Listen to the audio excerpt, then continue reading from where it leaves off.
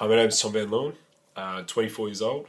Graduated from uni about a year and a half ago, and I'm about to finish up a six month internship.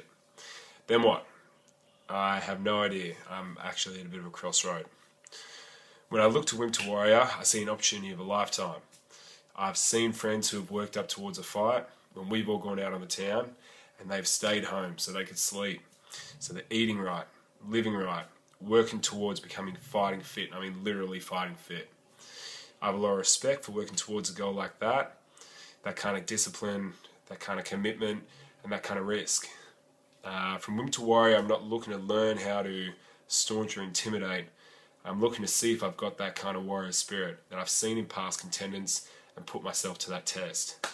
Uh, my current ambition is writing, so I'd like to contribute to the Wimp 2 Warrior blog as well, uh, documenting the six month journey.